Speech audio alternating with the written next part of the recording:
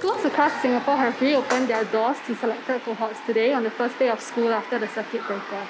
Some new safety measures include having to wear masks at all times, only except when eating or exercising, and stepped up wipe down routines, for example during PE lessons or after recess. We have to wear the mask. That's a big difference for me because I'm not very used to wearing the mask and it's more suffocating. You can't breathe well and it also makes you more warm. We have already got um, masks uh, made by our school uniform vendor for our students. We want them to have different kinds of uh, colors. We want the students to personalize their masks.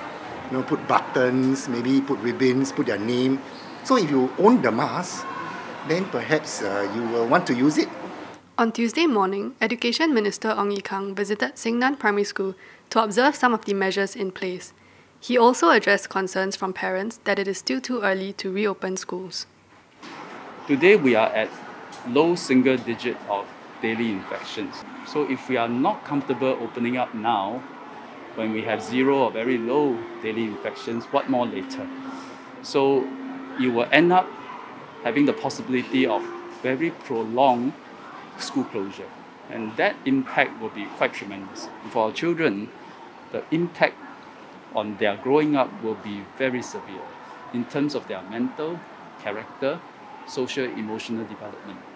Over the last two weeks, the school has been allowing primary 6 pupils to come back in groups so the school has tried out some new measures, such as allowing teachers to use microphones while teaching, so they can maintain a safe distance from students while still being heard. I think the teachers are trying their best not to use the microphones as well, although it's provided for individually. They want to have the students paying attention to them. Last two weeks, when we actually had the P6s coming back, the teachers actually managed to use their own voice and the students were attentive.